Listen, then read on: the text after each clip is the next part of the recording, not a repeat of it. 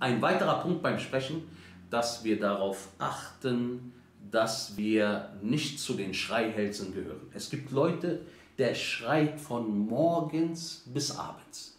Das ist einfach eine Gewohnheit von ihm, laut zu reden.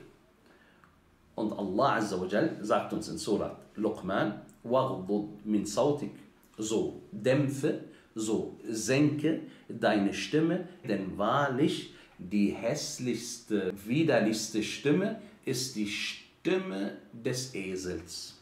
Des Esels. Ibn Zayd radiallahu an, wa ta'ala, er sagte, wenn etwas Gutes an einer lauten Stimme liegen würde, hätte Allah einem nicht mit dem Esel verglichen.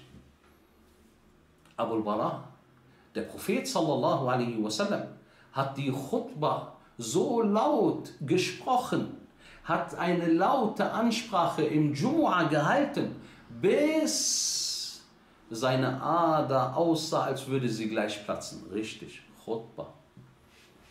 Was dich anbelangt, du redest normal, du hast zehn Khutbah am Tag. Wir reden über Khutbatul Jum'ah, das ist was ganz anderes. Hier muss man einen Effekt erzielen. Und auch die gesamte Khutbah wird nicht laut geredet, sondern wenn es wichtig ist, dann erhöht man seine Stimme. Wir reden über den normalen Sprachumgang. Dieser sollte nicht mit einer lauten Stimme gehalten werden. Wallahu ta'ala a'la wa a'lam.